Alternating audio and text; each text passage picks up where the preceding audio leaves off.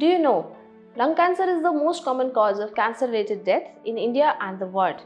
Hello, I am Dr. Aditya Vidushi, consultant medical oncologist, Max Super Speciality Hospital, Dwarka. And I would like to discuss certain risk factors for this disease today with you.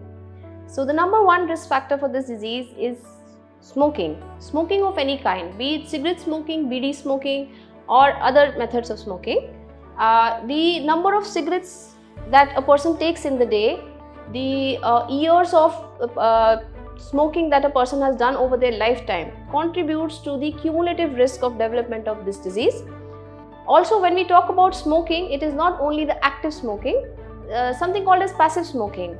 When you are smoking, the people around you are also inhaling the uh, the vapors, and that also call, called as second-hand smoke, and that also contributes to the development of this disease. Now, uh, the third most important thing uh, for this disease would be the air pollution. The uh, we keep on talking about the air quality index, and especially in urban areas, this has become a cause of concern for development of this disease. Uh, certain industries like uh, asbestos industry and certain other harmful chemicals, certain dyes, they can also contribute to development of this disease. And lastly, the radiation exposure. Radiation exposure, whether therapeutic or accidental, can be a risk factor for lung cancer.